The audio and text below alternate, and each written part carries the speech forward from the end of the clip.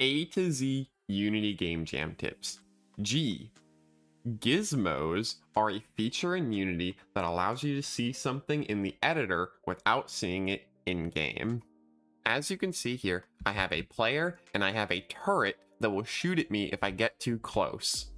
But it's kind of hard to tell how close is too close, and one easy way to see its range is by adding a gizmo to it.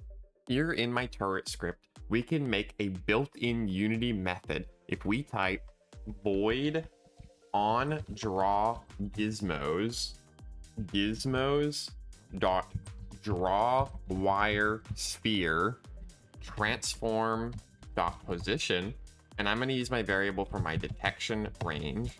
Now, if we look back at Unity, you can see there is a big circle all around my turret that shows the detection range for when he starts shooting me.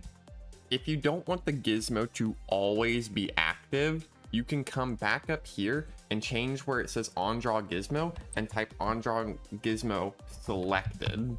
And if you want to change the color of your gizmo instead of it just being white, you can type gizmos.color equals color dot, and I'm just going to choose red.